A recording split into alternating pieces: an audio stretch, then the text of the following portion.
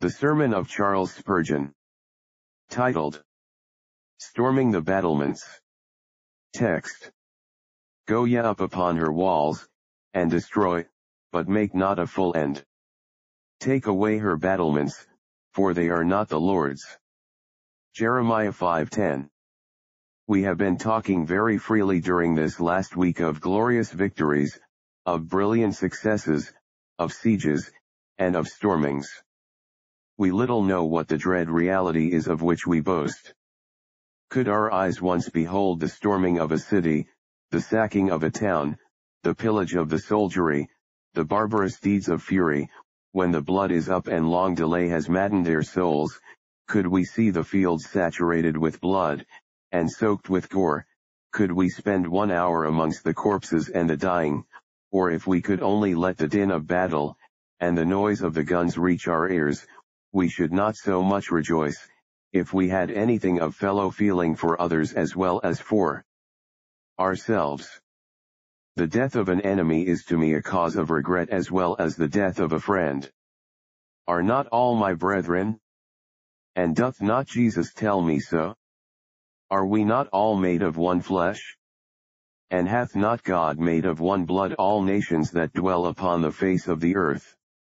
Let us, then, when we hear of slaughtered enemies, and of thousands that have fallen, cease to rejoice in their death. It would betray a spirit utterly inconsistent with the Christian religion, more akin to Mohammedanism, or to the fierce doctrines of Buddha, but not in the least to be brought into compatibility with the truths of the gospel of the glorious God. And yet with all that, far be it from me to check any gladness which this nation may experience, now that it hopes that the incubus of war may at last be removed. Clap your hands, O Britons. Rejoice, yes sons of Albion. There is hope that your swords may yet be sheathed, that your men shall not be mown down as grass before the scythe, that the desolation of your hearths shall now be stayed, that the tyrant shall be humbled, and that peace shall be restored. With this view of it, let our hearts leap for joy, and let us sing unto God who hath gotten us the victory, rejoicing that now earth's wounds may be staunched, that her blood need not flow any longer, and that peace may be established, we trust upon a lasting footing. This, I think, should be the Christian view of it. We should rejoice with the hope of better things, but we should lament over the awful death and terrible carnage, the extent of which we know not yet, but which history shall write amongst the black things. My earnest prayer is, that our brave soldiery may honor themselves as much by moderation in victory, as by endurance of privation, and valor in attack. I have nothing more to say upon that subject whatever, I am now about to turn to a different kind of siege, another kind of sacking of cities. Jerusalem had sinned against God, she had rebelled against the Most High, had set up for herself false gods, and bowed before them, and when God threatened her with chastisement, she built around herself strong battlements and bastions. She said I am safe and secure. What though Jehovah hath gone away, I will trust in the gods of nations.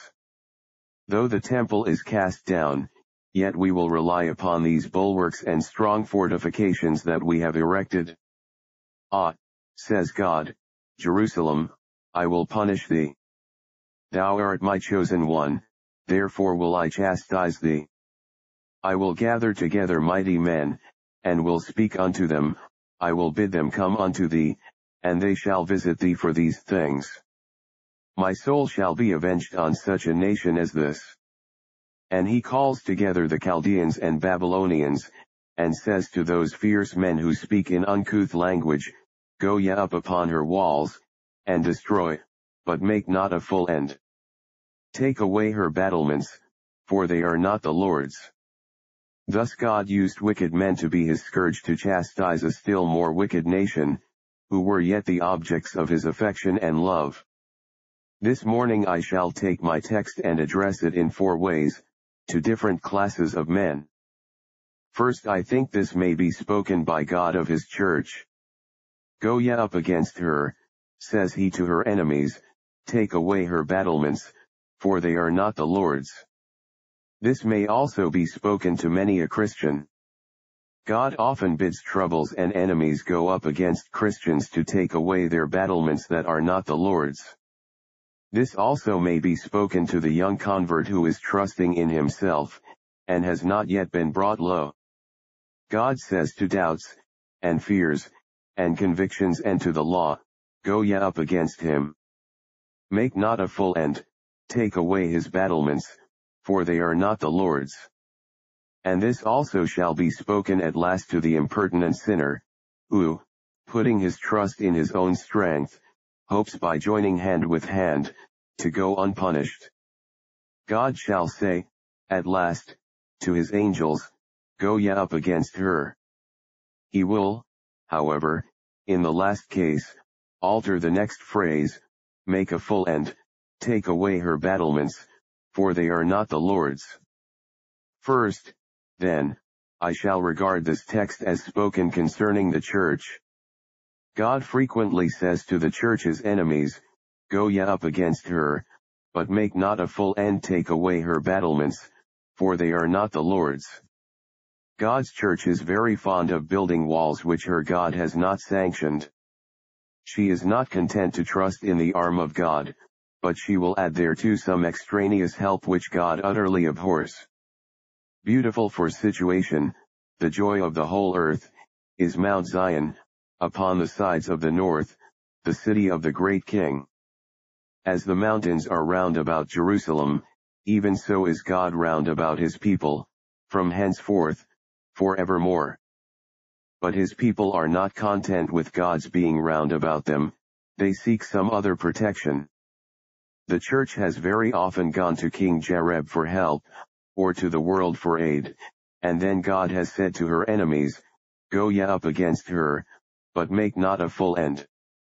Take away her battlements, for they are not the Lord's. She shall not have them. I am her battlement. She is to have none other. One the first I may mention is this. The Church of God has sometimes sought to make the government its battlements. There was a church anciently in Rome, a holy and pious church of God, whose members worshipped and bowed down before the God of Israel.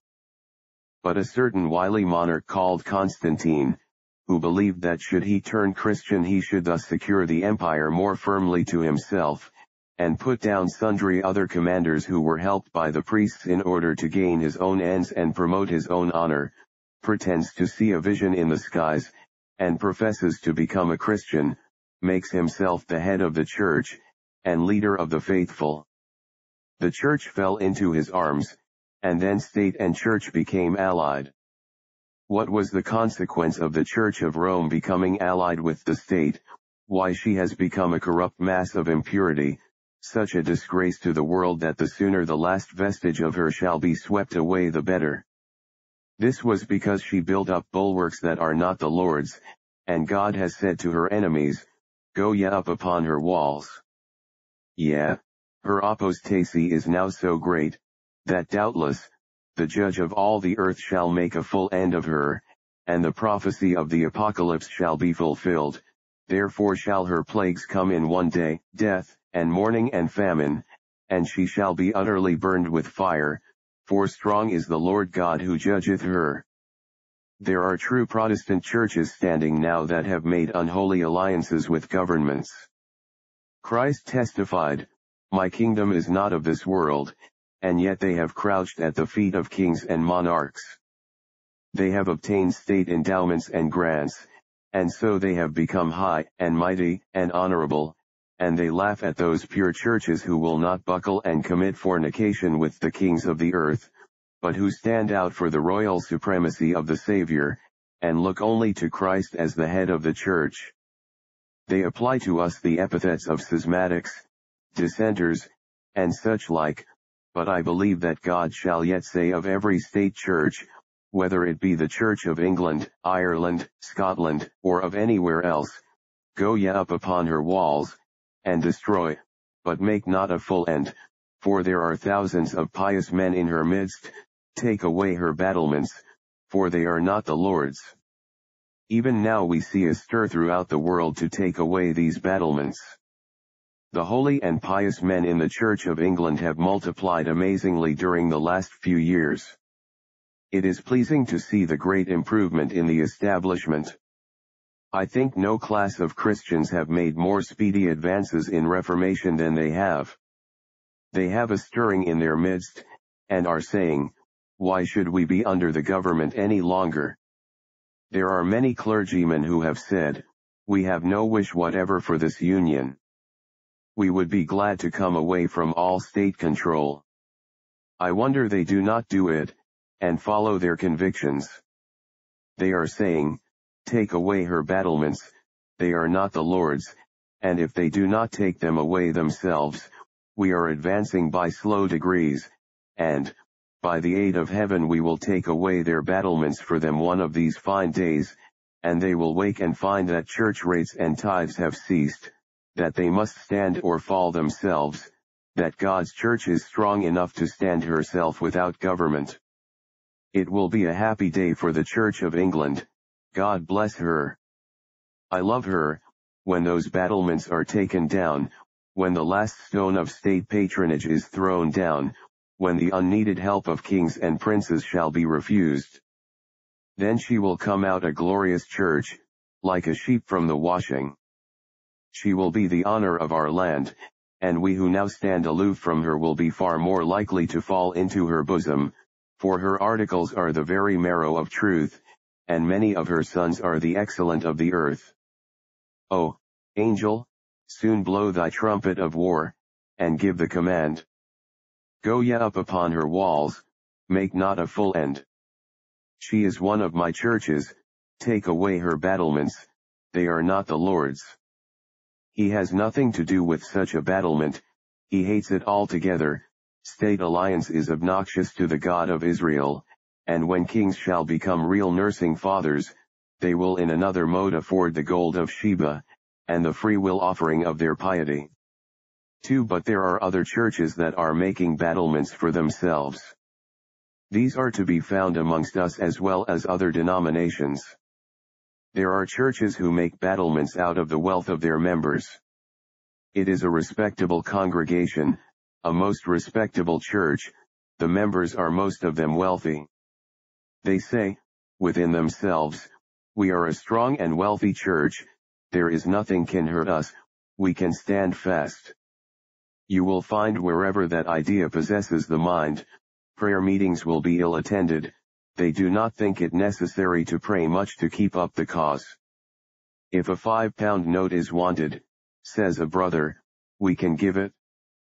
They do not think it necessary to have a preacher to bring together the multitude, they are strong enough in themselves.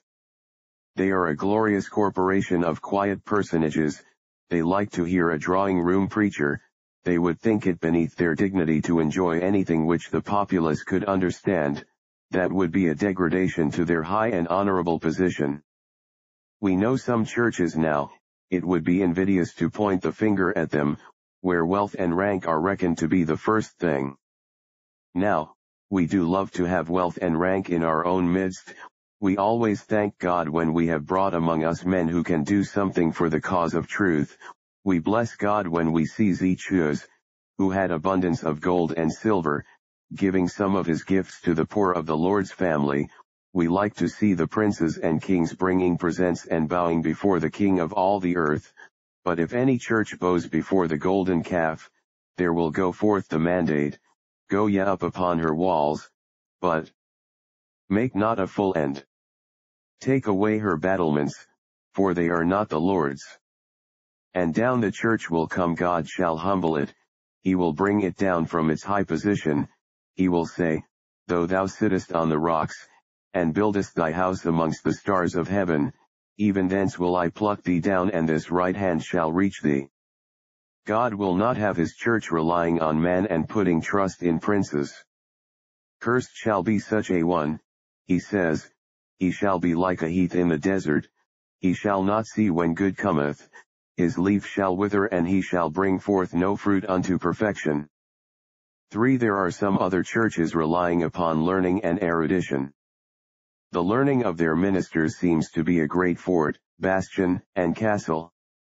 They say for instance what do these uneducated and unrefined preachers? Of what use are they? We like men of sound argument, men who give a large amount of biblical criticism, who can decide this, that, and the other. They rely upon their minister, he is their tower of strength, he is their all in all. He happens to be a learned man. They say, what is the use for anyone to oppose him? See the amount of his learning. Why his enemies would be cut in pieces, because he is so mighty and learned. Never let it be said that I have despised learning or true knowledge. Let us have as much as we can. We thank God when men of learning are brought into the church, when God renders them useful. But the church nowadays is beginning to trust too much to learning, relying too much on philosophy, and upon the understanding of man instead of the Word of God. I do believe a large proportion of professing Christians have their faith in the Word of man, and not in the Word of God.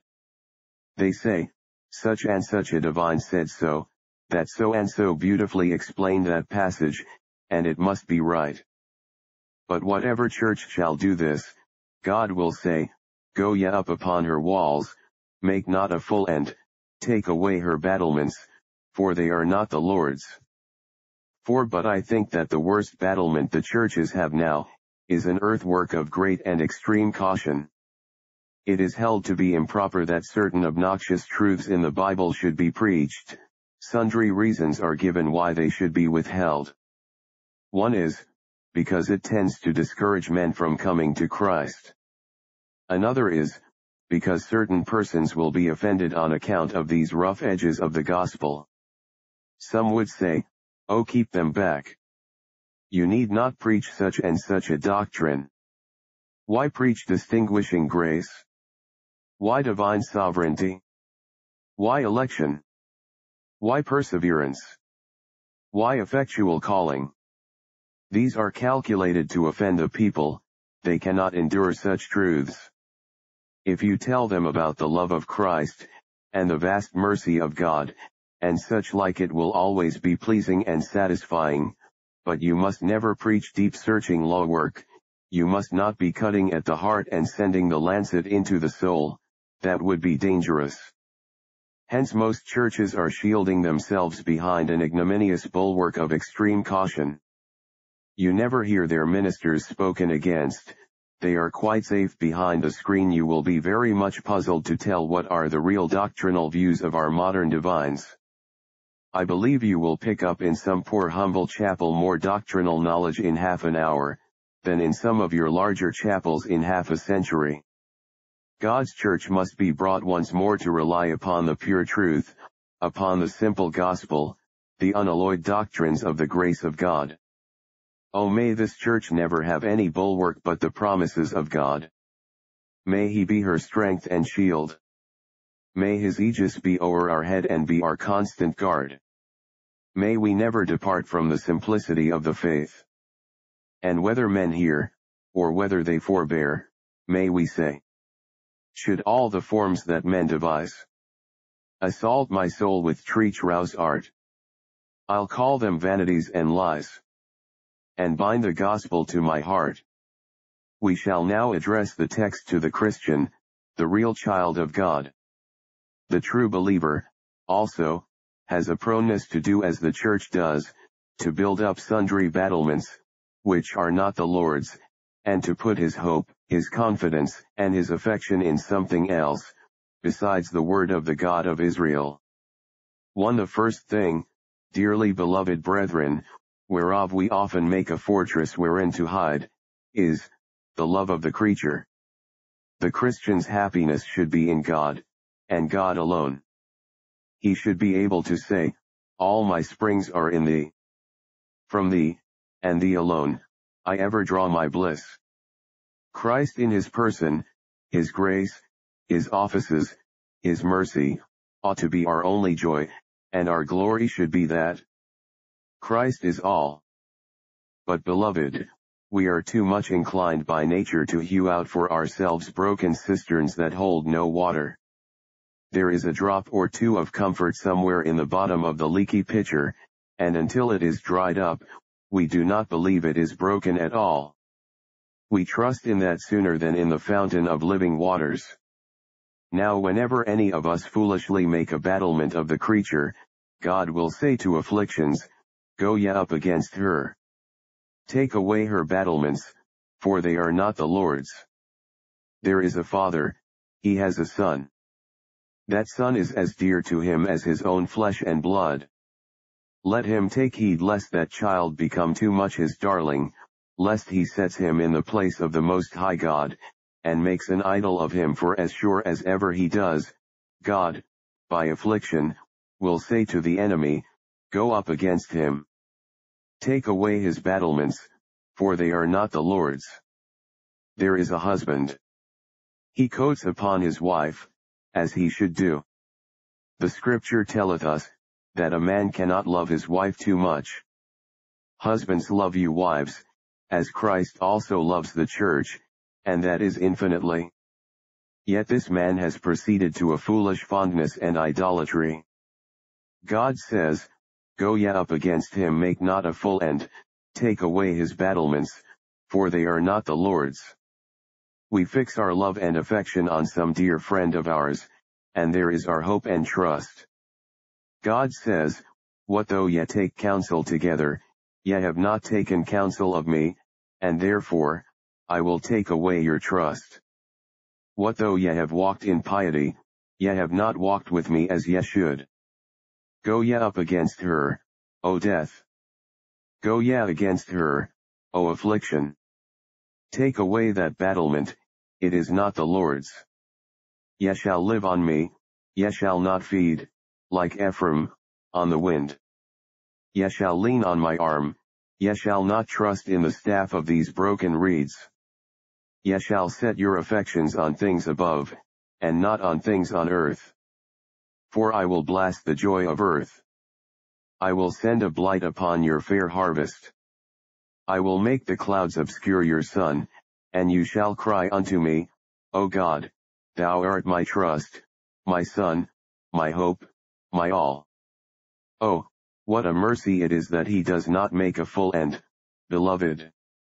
It may seem to be an end sometimes, but it is not a full end.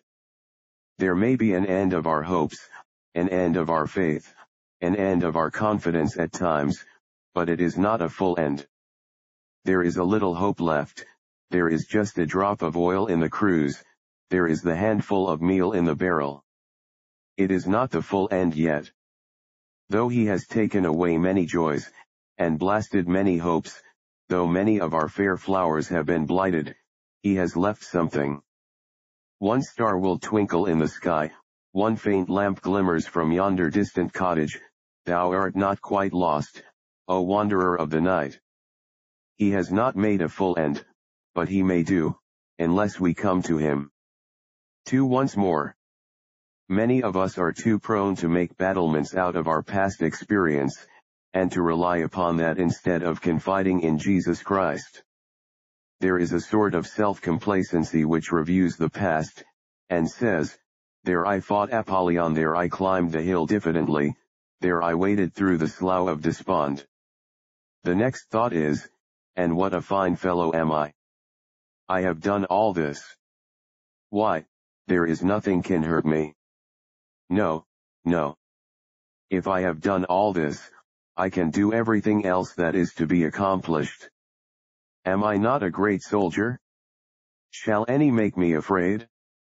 No, I have confidence in my own prowess, for my own arm hath won many a victory. Surely I shall never be moved. Such a man cannot but think lightly of the present. He does not want communion with Christ every day. No, he lives on the past. He does not care to have further manifestations of Jesus. He does not want fresh evidence. He looks at the old musty evidences. He makes past grace the bread of his soul, instead of using it as a seasoning to sweeten his meal. What does God say whenever his people do not want him, but live on what they used to have of him, and are content with the love he once gave them? Ah! I will take away your battlements. He calls out to doubts and fears, Go ye up upon his walls, take away his battlements, for they are not the Lord's. 3 Then, again, we sometimes get trusting too much to evidence, and good works. Ralph Erskine did not say amiss when he remarked, I have got more hurt by my good works than my bad ones. That seems something like antinomianism, but it is true, we find it so by experience. My bad works, said Erskine, always drove me to the Savior for mercy, my good works often kept me from him, and I began to trust in myself. Is it not so with us? We often get a pleasing opinion of ourselves. We are preaching so many times a week, we attend so many prayer meetings, we are doing good in the Sabbath school, we are valuable deacons, important members of the church, we are giving away so much in charity, and we say, surely I am a child of God, I must be. I am an heir of heaven. Look at me. See what robes I wear. Have I not indeed a righteousness about me that proves me to be a child of God? Then we begin to trust in ourselves, and say, Surely I cannot be moved, my mountain standeth firm and fast. Do you know what is the usual rule of heaven when we thus boast? Why the command is given to the foe, go ye up against him, make not a full end. Take away his battlements, for they are not the Lord's. And what is the consequence? Why, perhaps God suffers us to fall into sin, and down goes self-sufficiency. Many a Christian owes his falls to a presumptuous confidence in his graces. I conceive that outward sin is not more abhorred by one God than this most wicked sin of reliance on ourselves. May none of you ever learn your own weakness by reading a black book of your own backslidings. More to be desired is the other method of God when he sends the light of the Spirit into the heart, and develops our corruption, Satan comes roaring there, conscience begins calling out, man you are not perfect. All the corruptions burst up like a volcano that had slept for a little moment. We are taken into the dark chambers of imagery, we look at ourselves, and say, where are my battlements gone? We go to the hilltop again, and see the battlements are all gone. We go by the side of the city, they are all departed. Then we go again to Christ, and say, I, the chief of sinners am. Jesus died for me. Nothing in my hands I bring. Simply to thy cross I cling. Heaven smiles again, for now the heart is right, and the soul is in the most fitting position. Take care of your graces, Christians. Now to bring the text to the young convert, to the man in that state of our religious history which we call conversion to God. All men by nature build battlements for themselves to hide behind. Our father Adam gave us as a portion of our inheritance when we were born, high battlements, very high ones, and we are so fond of them that it is hard to part them. There are different lines of them, multiplied walls of fortifications, and when Christ comes to storm the heart, to carry the city by storm, to take it for himself, there is an overturning of all these different walls which protect the city. One in the forefront of the city of man's soul, frowns the wall of carelessness, an erection of satanic masonry. It is made of black granite, and mortal art cannot injure it. Bring law, like a hew pickaxe, to break it. You cannot knock a single ship off. Fire your shells at it. Send against it all the hot cannon balls that any of the ten great mortars of the commandments can fire, and you cannot move it in the least. Bring the great battering ram of powerful preaching against it, speak with a voice that might wake the dead and make almost Satan tremble. The man sits careless and hardened. At last a gracious God cries out, Take away her battlements, they are not the Lord's. And at a glance down crumbles the battlement. The careless man becomes tender-hearted, the soul that was hard as iron has become soft as wax, the man who once could laugh at gospel warnings, and despise the preaching of the minister, now sits down and trembles at every word. The Lord is in the whirlwind. Now he is in the fire, yeah, he is in the still small voice. Everything is heard now, for God has taken away the first battlement, the battlement of a hard heart and a careless life. Some of you have got as far as that, God has taken that away. I know many of you by the tears that glisten on your cheeks, those precious diamonds of heaven, testify that you are not careless. 2. The first wall is surmounted, but the city is not yet taken. The Christian minister, under the hand of God, has to storm the next wall, that is the wall of self-righteousness. Many poor sermons get their brains knocked out in the attack, many of them are bayoneted by prejudice, in trying to storm that bastion. Thousands of good sermons are spent all in vain in trying to make it totter and shake, especially among you good moral people, children of pious parents, and godly relations. How strong that wall is with you. It does not seem to be made of separate stones, but it is all one great solid rock. You guilty, you depraved, you fallen. Yes, you believe it, and you pay a compliment to scripture in so doing, but you do not feel it. You are the humble ones that stoop down, as needs you must, because you cannot sit upright, but you are not the humble ones who stoop willingly and feel that you are less than nothing. You say so, you call yourself a beggar, but you know that you are rich and increased in goods, and have need of nothing, in your own opinion. How hard it is to storm this wall. It must be carried at the point of the bayonet of faithful warning, there is no taking it except by boldly climbing up with the shout of by grace are ye saved through faith, and that not of yourselves, it is the gift of God. We have to use very rough words to get your self-righteousness down. I. And when we think it is nearly overthrown, it is soon piled up again in the night, the devil's sappers and miners are soon out to repair all the breaches.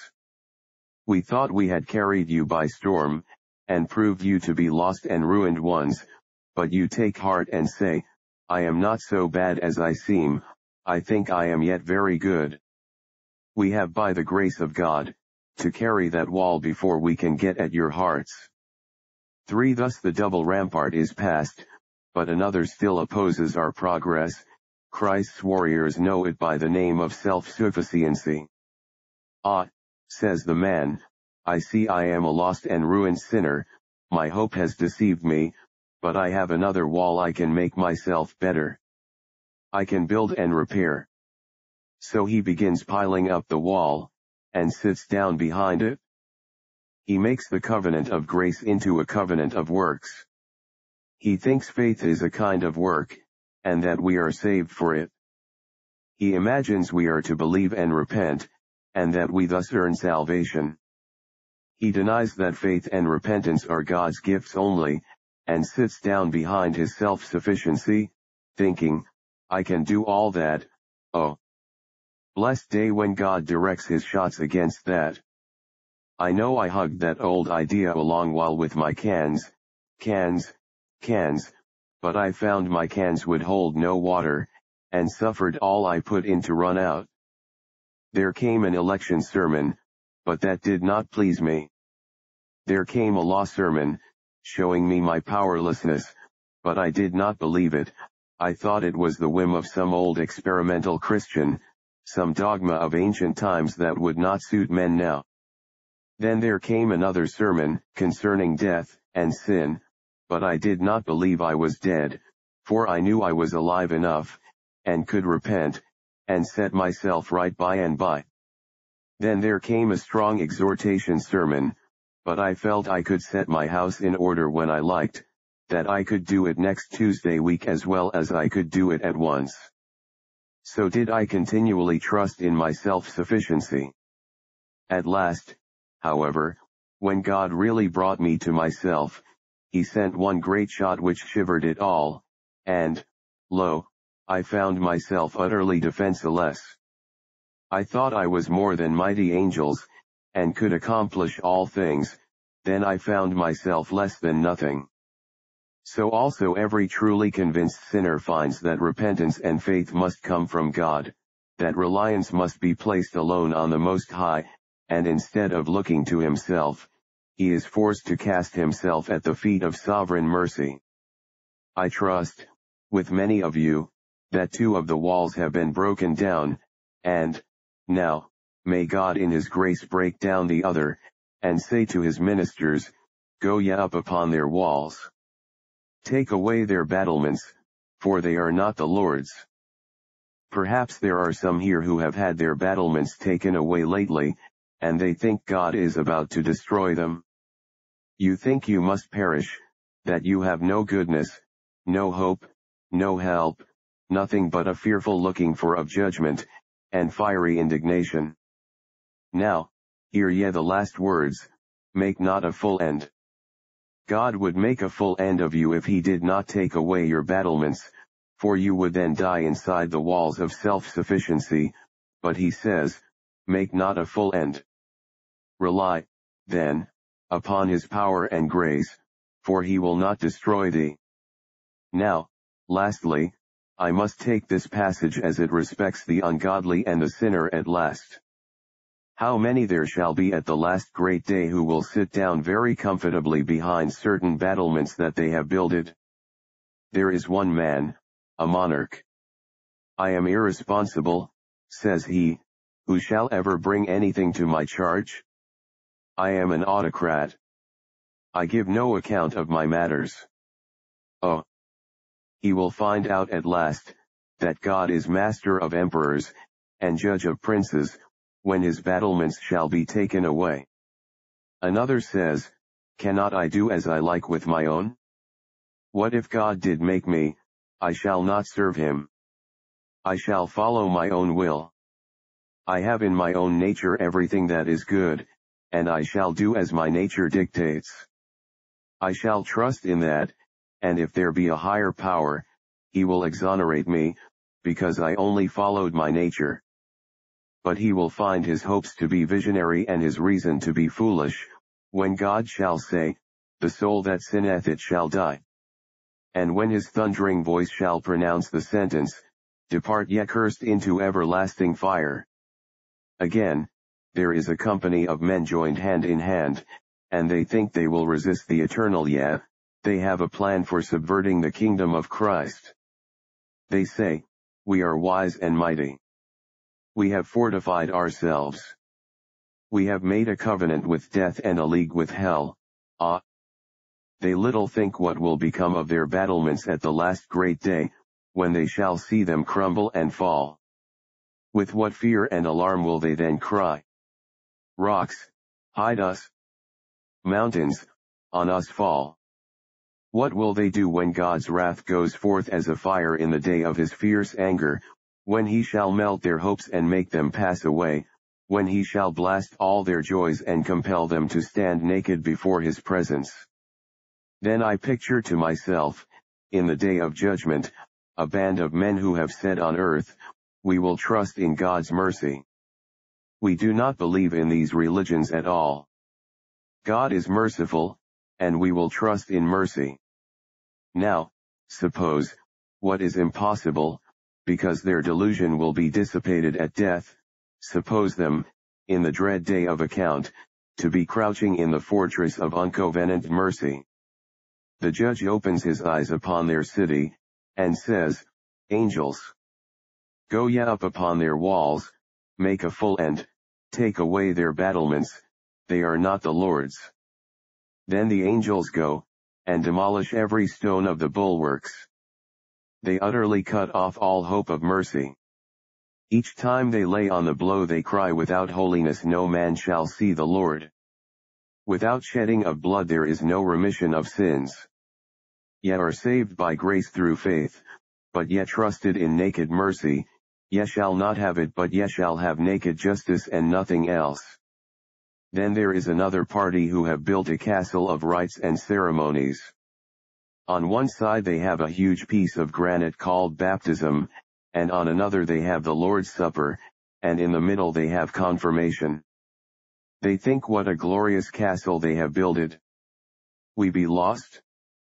We paid tithe of mint, cumin, and anise. We paid tithes of all we possessed. We know that grace is in ceremonies. Out comes the Almighty, and with one word blasts their castle, simply saying take away their battlements, for they are not the Lord's. Ungodly men and women. What will ye do at last without battlements, without a rock to hide yourselves, without a wall behind which to conceal yourselves, when the storm of the terrible one shall be as a blast against the wall? How shall ye stand when your hopes shall melt like airy dreams, like visions of the night that pass away when one awakes? What will ye do when he despises your image, and when all your hopes are utterly gone? The Christian man can go away with the reflection that his battlements can never be taken away, because they are the Lord's. We rely upon the electing love of Jehovah, Father, Son, and Holy Ghost, we trust in the redeeming blood of Jesus Christ, the everlasting Son, we depend wholly upon the merits, blood, and righteousness of Jehovah Tsidkenu, the Lord our righteousness, we are confiding in the Holy Spirit. We confess that we are nothing of ourselves, that it is not of him that willeth, or of him that runneth, but of God that showeth mercy. We do not acknowledge one scrap of the creature in our salvation nor one atom of self, we rely entirely upon covenant love, upon covenant mercy, covenant oaths, covenant faithfulness, covenant immutability, and resting on these, we know our battlements cannot be taken away. Oh, Christian. With these walls surrounded thou makest laugh at all thy foes. Can the devil touch thee now? He shall only look upon thee and despair. Can doubts and fears take away our battlements? No. They stand fast and firm, and our poor fears are but as straws dashed against the wall by the wind, for, though we believe not, yet he abideth faithful, and not all the temptations of a sinful world, or our own carnal hearts, can separate us from the Saviour's love. We have a city, the walls of which are mighty, the foundations of which are eternal, we have a God who says, I the Lord do keep her, and do water her every moment, lest any hurt her, I will keep her day and night. Trust Christian, here, salvation shall God appoint for walls and bulwarks.